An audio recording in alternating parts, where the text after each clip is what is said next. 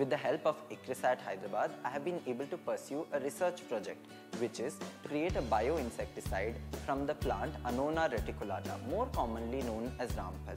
My project is based on creating a bioinsecticide for farmers, which is an alternative to the chemical insecticides present.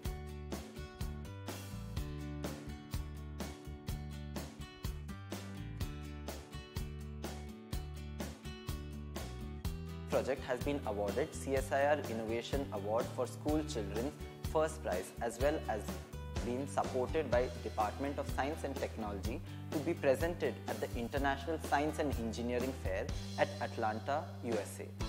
With the help of ICRISAT Patancheru, I was able to pursue this project, especially with the help of the rearing lab present here, which has a myriad of insects. So we have the well-established insect rearing facility, uh, maintaining the insect culture around the year. It will be benefit for the students to, to carry out the research activities in the host plant resistance, insect biochemistry, insect chemical ecology. So this will helpful for the students for the future, uh, their career endeavor in the both at national as well as international level.